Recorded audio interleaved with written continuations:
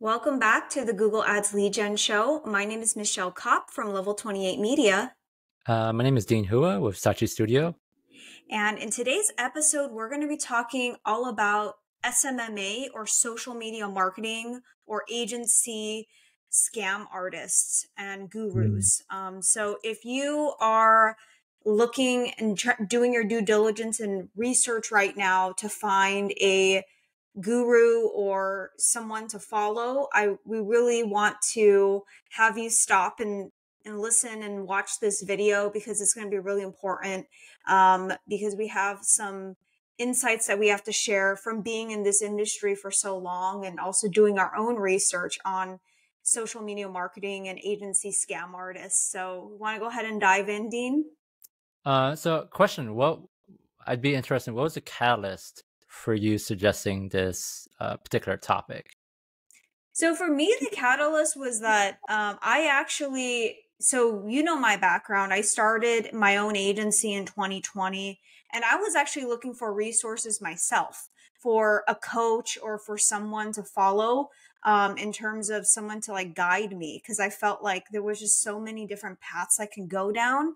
And, you know, as being a business owner, it's really hard to stay focused um, so I I went I went to Instagram and I found some of these gurus and you know they look like these 20 year old kids they're wearing hoodies and name, name some of these gurus unpolished uh so and and by naming these gurus, I'm not trying to, you know, spread any hate or anything, but these are just the people that I've seen. So yeah. Alex Hormozi, Joel Kaplan, Iman Gadzhi, and Tai Lopez. Those are some of the bigger names. I don't know. Are there any other ones that come to mind? Oh, there are tons. I, I would say Tai. I mean, obviously everyone knows Tai's reputation. Uh, I, I would definitely categorize him as a, I guess, OG guru, if you will. He's like the, the guru of all gurus. Uh, you know, it's funny you mentioned Iman. Um, I followed Iman from like day one, from six years ago when I landed upon one of his videos, which was actually a really good video on how he was landing Facebook ad Facebook ad clients. Um, and it's interesting to see his progress from at that time. He was very he was a very genuine, authentic, um, you know, content creator, if you will, and yeah, to see where he is now, where quite frankly, it, there's a lot of fluff built around his brand. He's he makes a lot of money, uh, that's for sure. Um, so yeah, I would definitely categorize him on. Uh, Joe, he's definitely getting there. Again, I, I have a couple friends who've taken Joe Kaplan's um, SMA uh, course. course. I think yeah. you're paying 10k, give or take. Um, both of them said nothing but good things about it. Although I recently I've heard a lot of generic things about him as well as he's tried to scale. I was highly considering taking his course until I heard that it was ten thousand dollars. Yeah. Um, but and here's the thing they he his sales team uses really hard sales tactics in order oh, to okay. lure you in um, get you in for an appointment and then what they'll do is oh it's $10000 but you don't have to pay it all up front you can split the payments it's going to be easy blah blah blah so i'm not saying that these guys are necessarily scam artists i i think that like someone like joel a lot of these guys when they start out they have that genuine interest of like you know they actually went through this path perhaps um, there's no way to fully verify. A lot of times they'll use like their stripe accounts and like show off like oh this is how much money i made. Um, so you have to take it with a grain of salt because anything you see on the internet can just be a bunch of fluff. And we all know you can use canva or photoshop to just like fake the numbers. Um, but i think a lot of times what they start out with genuine intentions and then once they see the money start coming in then they start moving into this whole coaching uh, guru type of uh, influencer role where then they ditch the agency that they started and then they end up starting their own coaching company where they're charging thousands of dollars. Yeah I, I found like part of the reason why people do that where they've achieved success within their niche and now they want to kind of like teach other people how to be successful. I think part of the reason why people do that is just because it scales a lot easier. It um. Um, it's one yeah. to many versus one to one. Exactly. And that's what everyone's doing to some degree. Some people just want to sell digital products, other people want to sell courses. That's a really big thing nowadays. Um, so I totally get it. But I think what people don't understand is that just because they've had success within their niche doesn't necessarily mean you'll have success as well, regardless of what they promise.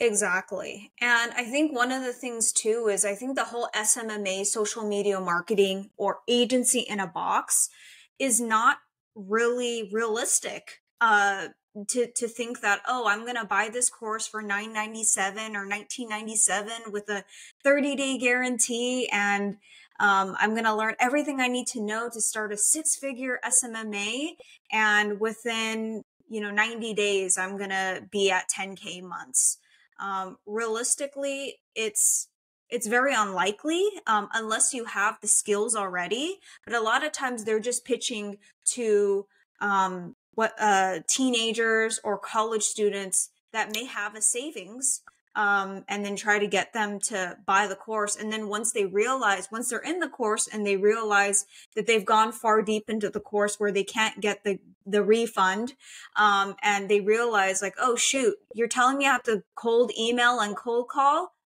I cannot do that, you know, and then they realize yeah. how hard it is and they just give up. And here they just spent one to two thousand dollars on a course from a guru. So I don't know if you have any other thoughts on this.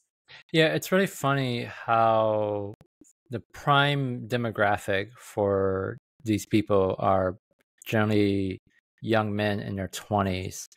And I thought about why that is. And I think partly because if you think about young men in their 20s, I know I'm, I'm generalizing to some degree, um, but I do believe this to be true. Uh, young men in their 20s, they want a few things. Number one, women. Number two, more money. Number three, cars. And you know, what does that? How is that usually promoted in in in these courses? Probably the same method. Although I don't think a lot of these gurus are are teaching you how to make more money just so you get more women. But they definitely show off the Rolexes, the Lambos, things like that. Um, let's sit there and say women don't necessarily um, fall for it as well. I think they do. I I I just think women aren't susceptible to the same messaging that young men are. Mm-hmm. Absolutely, absolutely. And then on top of that, they see these guys like Joel, Iman, and Tai that just dress super casually. They look just like you, right? So you see that and you're like, wow, they're just like me. I can totally do this. Um, so it's relatable versus if it was like a guy that was like super polished, like let's say like Simon Sinek or like some really, you, you know where. I'm going with this. Like it's not relatable versus these younger, you know, in their, you know, later 20s or maybe even early 30s, um, trying to, you know, lure these younger kids in. Yeah, they they don't they don't have a lot of real life experience or real life business experience, so they're very easily impressionable. Exactly. So, exactly. Yeah. Um, so let's talk about how do you spot these gurus um, on the internet as you're scrolling through Instagram or TikTok? What are some what are some things that really stick out to you, and how do you how do you spot them? Well, I think number one, it always starts with an ad, right? Like usually most of these gurus they they start with an ad, and you have to spot the in order to spot a good ad, you have to spot, spot the headline. So usually the headline is very simplistic, where it's promising really big results. For example, uh, one headline could be here's how we uh, made ninety thousand dollars in revenue in thirty months or in thirty days. Thirty days, mm-hmm. right? Or here's how we grew our agency to uh, hundred thousand dollars in ARR in the next three months. So they promise big results, and then they lead in to most likely what's going to be a lead magnet. So download this free PDF or spend 19 bucks to buy this ebook. And what's, what ends up happening during the process is when you download the lead magnet or you spend just a few dollars on uh, an ebook or a course, is that's where they start to up that you don't really make a lot of money off of $19, even if you're working at volume. Generally speaking, you're probably breaking even um, to mm-hmm. the ad costs. Um, but where they get you is they get you through the upsell. So you just spend 20 bucks. If you just spend 20 bucks, you're more than likely eager to spend maybe another 100 bucks on maybe, you know, whatever else that they're selling, like a little mini course. And then so once you spend 100 bucks, then maybe 30 days later, they'll drip out a campaign to get you to start spending uh, several thousand dollars. That's generally how it works. And that's kind of how they they they get you in. Mm-hmm. So something else that I've seen too is a lot of times they'll put out content about yeah, so it's all about this is how you make X amount of dollars. This is how you win this many clients. This is the freedom that you're going to be able to get if you, you know, this is the lifestyle that you could get if if you start your own social media marketing agency or agency in general if you listen to me um, and a lot of times, uh, yeah, they're promoting how much money you could make. And then what they'll do is beyond. So I've seen that type of funnel, but then I've, I've also seen funnels where they just send you to their Calendly and they're like, Hey, book an, appoint, book an appointment with me. And they get a really hard sales closer to get on the phone. So typically it's not going to be the guru that's going to get on. They don't have time for you. They've trained a salesperson that's a really, um, that's a really hard closer that's going to get you to try to sign up uh, for the services. So they'll try to book you and they'll say something along the lines of like, here, get a free test drive or get a free consultation.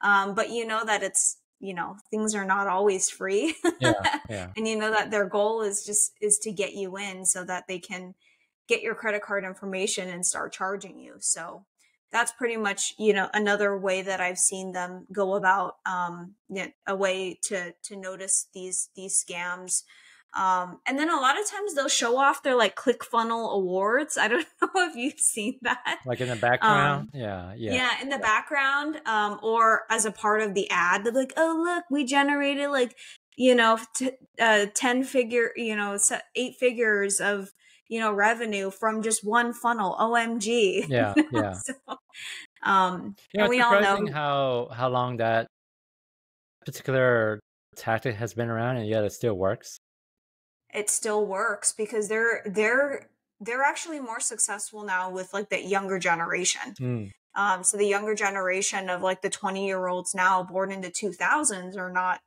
you know, as aware of these awards and stuff like that versus people like you and me who've been in the game yeah. for a while. Um, I have a question for you about this whole agency in a box or SMMA do you think that it's possible to be successful in it? Like, what percentage of um, people do you think that go through these programs actually find success? Um, so I don't have exact data, but if I had to take a guess, very a very small minority, I would say maybe I don't know, less than ten percent, maybe less than five percent.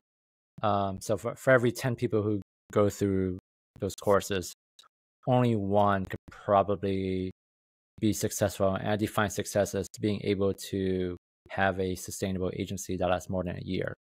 Everyone else yeah. kind of goes out of business.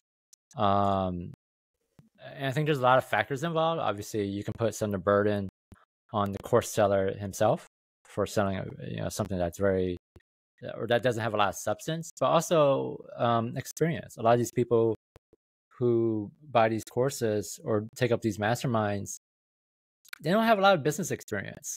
They don't have experience running an agency, obviously. Um, they don't have mm-hmm. experience mm-hmm. uh, interfacing with clients, which obviously you need when you're running an agency. And a lot of them don't necessarily have a lot of marketing knowledge. Maybe they spent mm-hmm. a year working at an agency, or maybe they're in house somewhere, and then now they're being promised that they can now run their own agency in a box within 90 days. So I think once you take in all those factors, I that's how I arrive at less than 10% of people succeeding. Yeah, I wanted to take a few minutes to break down like the the issues with agency in a box or SMMA. So the first thing is what they teach in a lot of these courses is agency arbitrage. So essentially what that is is um, what you're doing is you're not actually doing the work as actually like fulfillment. You're outsourcing it to other freelancers that are actually doing the fulfillment. And while there's nothing necessarily wrong with that, because you and I, we talk about white label um, in our in our podcast episodes as well, and we both of us have uh, strong opinions about it, uh, but we don't necessarily think that there's anything wrong with it. It's just important to be transparent about it. But I think what it comes down to is with this whole agency arbitrage, it's actually really hard to find good freelancers that can deliver that are cheap so that you can still have a margin right so i think that that's that's one of the big issues and a lot of times then you're outsourcing it to someone overseas philippines or india they're in a different time zone um, a lot of times they may not be reliable. So then they end up um, burning and churning through clients. And that's a really big issue that I wanted to address. It's the whole agency arbitrage thing. It can work, but most of the time it doesn't. Um, another, or do you have any thoughts on that? No, I, think you hit the nail on the head. Like people don't understand how hard it is to find good freelancers or contractors, regardless if it's overseas or here in the U.S. Um, there's only so many uh, talented people or talented marketers out there, regardless if it's Facebook ads, Google ads, SEO, or whatever. Um, there's only so much good talent out there, and you have to remember that good talent comes at a price. And that exactly. price often will or may, well, probably will eat into your profits as well. So ideally, what you're looking for as a social media marketing agency owner is trying to find someone who's very talented and can work at a low price, and that's really, really hard to do. Not impossible, so but just hard to do. Because if they're good, then they're going to know their value, and then they're going to charge what they're actually worth. Um, so then you, you as the agency owner who just bought into this agency in a box uh, course, you're learning how to build an agency, but at the same time, you're learning how to do it the wrong way because, you know, the freelancers are not going to, good freelancers are probably not going to want to um, stick around unless they're getting paid a fair wage. And on top of that, something else that this agency in a box, uh, you know, gurus teach too is like charge high ticket, right? So, higher ticket so probably in like the 2000s to five five thousand dollar a month retainer fee mm. um just so that you can you know uh get profit and then you know uh be able to outsource some of this work to good freelancers uh, but the challenge is how can you get a business owner to pay you two to five thousand dollars if you don't really have any real world experience. Yeah. So that's that's kind of where there's a really big disconnect, especially if you you haven't done cold calling or cold emailing, which is another thing that they teach, which between you and me, we both know that these tactics work. They just take time. Um, but yeah, so that that's also another challenge too. Um, you know, that with with what these gurus are teaching. Yeah, also I think one of the hidden dangers of running an agency in general is that it's very HR intensive, um, human resource intensive, and what I mean by that is you make you actually make the most money when you're on your own as a freelancer, or yeah. maybe as a freelancer with a couple contractors. That's when you make the most money. The moment you try to scale beyond yourself and a couple people, um, it starts to actually eat into your profits. I know a lot and, it's it's a balance for everyone. Like some people may be happy running an agency with two employees and multiple contractors. Others may be happy with ten employees and multiple contractors. But from the few agency owners I know who've scaled successfully, and I define success as um, having a couple dozen employees, they almost always got burnt out and they actually sold their agency or they fired a lot of people just to scale down because they realized that they're now in this sort of cycle where they, they actually have to manage people rather than doing the actual work. And some exactly. of the agency owners I know just like doing the actual work. They love marketing, they like doing the work. Not a lot of people are built with the mentality of having to lead people and managing day to day operations. Yeah, and that's actually me. For me, I've built my agency around a lifestyle and definitely not around trying to be the most uh, you know, dr- you know, in terms of driving the most revenue as much as possible with with the biggest team. Um, so is is that the case for you as well? Yeah, it's the case with me. I, I'm I've always told every new client who's come on board with me is that I run small shop, and I say that with I, I tell that I tell them that with intention, um, because um, I you know I want them to know that as a small shop, I'm very agile. I may not necessarily bring sort of bigger or the resources that bigger agencies owners have. But I think that's okay as long as I'm working or if I'm staying within my lane, I know who I'm working with. Um, yeah. So I, I, think there's good and bad to being a small shop as well as there's good and bad to being a big shop. It's just knowing who who you want to work with and how you want to grow. Um, I think the other pitfall that a lot of people who try to run an agency don't understand is um, you need good client interfacing skills. And if you've oh, never yeah. if you never run a business before, um, you're you're in for some really hard lessons to learn because you know, a lot of these gurus they can teach you, oh, well, here's how to run Facebook ads for chiropractors. You know, here's how to do it. Here's how to set everything the up. Technical skills, the, the technical hard skills. skills. But what Yeah. happens when something goes wrong, or what happens when your client um, throws a fit? You know, how do you deal with that? And stuff like that can only be learned like in the moment by being agile, by being by having good people skills, and learning to manage expectations. Well, and through experience. Yeah. Yeah, I totally agree. Um, like where I was when I first started my business versus where I am now, it's totally different, you know, Dean. Um, so I, I think you need good client interfacing skills. I've always prided myself on my ability to manage the expectations of my clients and um, interface with them in a way that they feel comfortable with me. Um, but that's something you kind of have to learn as you move along, and not not everyone has that skill set when they first start out. Yeah. Can I share a personal anecdote? Like when I started my business, I I had the skill set of Google Ads. Prior to this business, I had been doing Google Ads full time for agencies. I worked on Toyota, AMPM Arco, Sage Accounting Software, a lot of big names on multi-million dollar brands. When I started this business and then I started, you know, following some of these gurus, I was actually like taken aback by, you know, what they were promoting and how much, you know, how much money they said that they were making. But then in the back of my mind, I was like reminding myself, you cannot just believe that everything that you see is real. Like they're trying to paint a picture. At the end of the day, they're trying to sell course. Um, but it really kind of painted some doubt because here I am, I'm like, you know, just barely starting my business, just barely even, you know, making enough to, you know, just get by. And, and I have all this experience working in Google ads and generating leads. And here are these gurus that, you know, they, they don't actually have that real world experience. Um, and they're quote unquote claiming that they're making all this, all this money. And then I end up finding out that a lot of these people, they're just, you know, making up stuff like, oh, I sold a $15,000 client.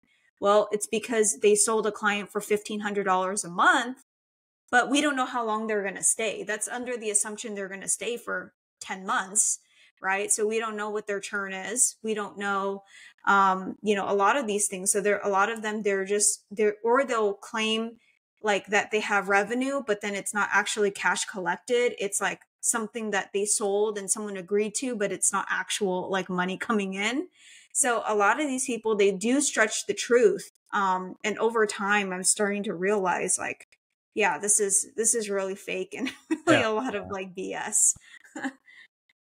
Um, what else do you want to talk about?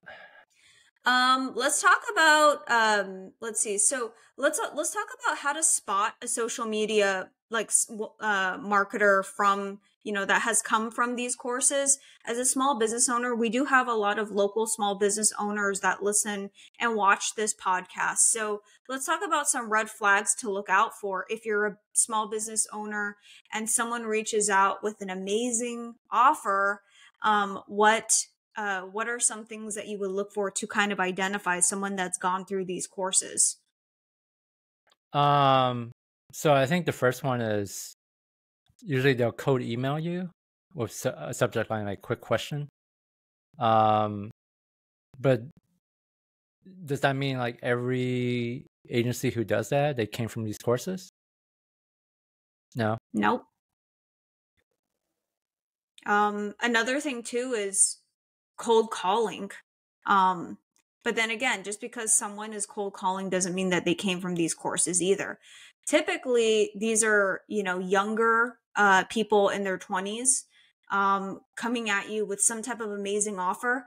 Dude, I just got an e- a couple emails today. I get a bunch of these emails all the time, and they're not necessarily from social media marketers, but they're from you know other types of marketers saying stuff like, "Oh, if we if we don't perform, you don't pay." And I think it's just a bunch of like I think it's just a bunch of BS too. So, you know, I just, you know, end up deleting it. But any anytime you see some type of like really strong guarantee where it's like, oh, performance or you don't pay or we'll pay you or we'll pay for your your your uh your lease for a month like something really random Hmm. or we'll buy you like a an iWatch or Yeah. iPhone if we can't perform I've seen those by the way Um, what, what what do you think is the catch is with those gimmicks? Like, is there what, what's the catch? What do you mean? So, for example, if they if they say money back guarantee, like what what's the fine print?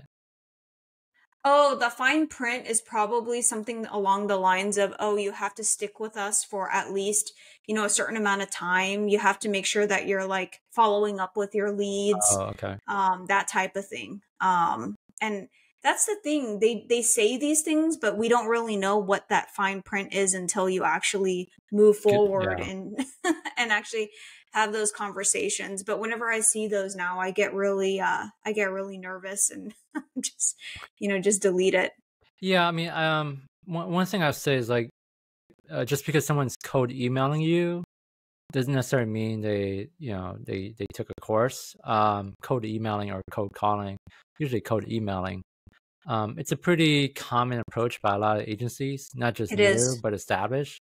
Um, it's actually something I did a few years ago on LinkedIn, where anyone who has a LinkedIn account, you're probably familiar with all the spam nowadays. But um, I used to do it when it wasn't very spammy, where I would DM my target demographic. Yeah. Um, you know, introduce myself and then dri- drip it out over several emails, and actually worked pretty well. Um, but the reason why I stopped doing it was because for me, it felt like with cold email, I had to make a much more concerted effort to try and sell myself to them than had they come to me. Like had they come to me, they're actually they usually psychologically from a sales perspective, they generally have to pre-sold. Pre, yeah, you have to pre-qualify themselves a little bit harder, or I have to qualify them. But when I'm coming to them, they have more leverage than I have over them. So now I'm trying to like sell myself really well over over the initial concept. I'm not really good at that uh, methodology, so that's why eventually I gave it up just because it just mm. requires too much time. Mm-hmm. Yeah, it's really a chase when you're when you're going after when you uh, use the cold methods, and then on top of that, you're not really building any brand equity. Versus if you're doing content marketing, you're building brand equity. Content takes a lot of time. Um, um, so you know, it's just a matter of like, would you rather trade your time, have your time spent on content, or would you rather spend it spending it try to sell to cold or uh, cold leads, um, you know, through cold email or or on the phone. So yeah, I, I fully agree with you that just because someone comes in through cold email, hey, I've used cold email, I've had really great success with it. It's just not the way that I want to really spend my time in my business to get clients. I would rather have people come to me pre-positioned to buy. Yeah. Um, so just like you. Um, so inbound leads are are gold, but I understand too, you know, with any type of business development, you probably should have both because that's what's going to help you have, you know, multiple like like legs to stand on uh, instead of just one. And you know, because if you're only relying on content, let's say something happens to you know your youtube channel knock on wood or you know something happens to your seo and then you're you're out of luck because you're not getting as much traffic so that's why a lot of companies will do multiple things. But usually, when these quote unquote gurus, uh, uh, people that go through these courses, they start they start out using cold email because it's a very low barrier to entry. You just get a bunch of emails and start cold blasting. But just because someone's using it is not necessarily, you know, a bad thing, It doesn't mean that they're a bad, you know, person that does, not yeah, know yeah. what they're doing. Yeah. yeah. Um and then yeah, I think that's pretty much it. I one thing I did want to say is in this video is this video was not meant or podcast was not meant to spread hate, but it was more of just like creating awareness of this whole social media agency in a box um, approach that's really being promoted right now. A couple years ago, it was drop shipping and then like it still NFTs. is, by the way. Oh, okay, yeah. yeah. Drop, drop shipping is still a thing. It's just done on TikTok. Yeah, exactly. So then, and then now it's SMMA because they're, they're they're trying they're targeting that same that same group of people like in their early 20s but now they're just showing oh here's some easy ways to go about you know making making an extra buck or to to have a life of freedom and they're promoting um and a lot of them they're using a lot of like motivational like regurgitation recycling the same content over and over and over again to try to get these people in. So hopefully this video and this content was super helpful to number one expose you to some you know uh, what to look out for if you are looking to buy a smma course or if you are um, a business owner being approached by these types of people like how to how to spot them and how to know what's bs and what's not. And yeah if you have any questions you can drop them in the comments of this video below. But did you have anything else Dean to add to this topic? Yeah um, i think the only thing i would add is like if you really want if you really want to get into running an agency number one start small just with yourself and just go out there and freelance. Because through freelancing you start to understand more of yourself as a business mm-hmm. person now because you're you're now a business person or a business owner you start mm-hmm. to understand what you like or what you dislike. Like you may love doing the actual work but you may hate selling. And through that uh, realization you can start to find ways to kind of cover up your weaknesses. So maybe you have to find a partner or someone who can work on commission if you hate doing sales. So I, I would say if you want to run an agency like just start freelancing on your own first before you start to take up any course. And after you've been freelancing for a while, start looking into some legitimate courses and and see what they can do for you. I don't think there's I think the real value in some of these masterminds or these courses is really the networking you get from yeah. other agency owners and learning from their mistakes and their wins as well. Um, yeah. I, I truly believe, especially in the age of the internet where you can learn everything off of YouTube, if you're just like learning to run Facebook ads or run Google ads, you can just go to YouTube for that. Uh, mm-hmm. Complement it with just um, making mistakes with clients. That's how you get good at it. Exactly. But it's really ever uh, an overnight thing. Yeah, it's never an overnight thing. It takes years in order to get to you know the level that you want uh that level of even like six seven figures if you don't have any prior experience so don't think that oh just because you went to high school and college and then you just be able without any real world experience you'd be able to get anywhere because it's it's definitely not an easy and straight path. Yeah. Okay. Well thank you guys so much for tuning in and we'll see you in the next episode. Bye